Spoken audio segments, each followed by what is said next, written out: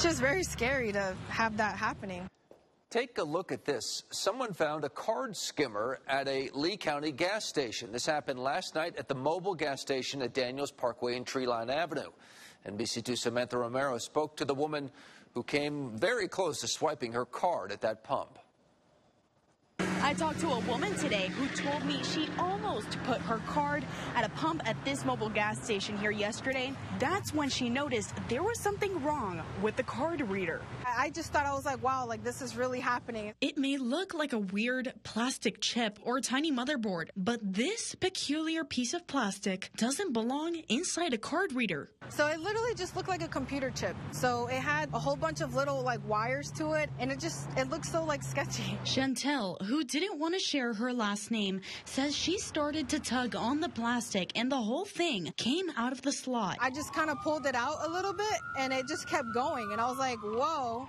So I pulled it out, and I was like, that obviously shouldn't be in there. She couldn't believe what was in her hand, tossing and turning it, dumbfounded at the device. I was with my brother in the car at the time, and I'm like, what is this? And he's like, it looks like a card like skimmer.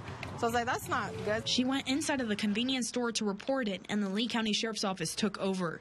LCSO says this is the only skimmer reported at this gas station since 2021, but deputies have seen six reports of skimmers across the county in the past year.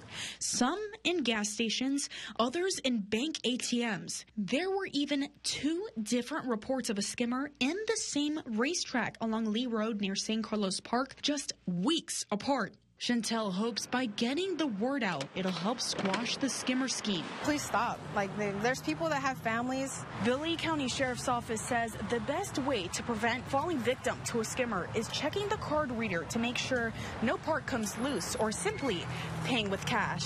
I'm local in Lee County along Treeline Avenue. Samantha Romero, NBC2.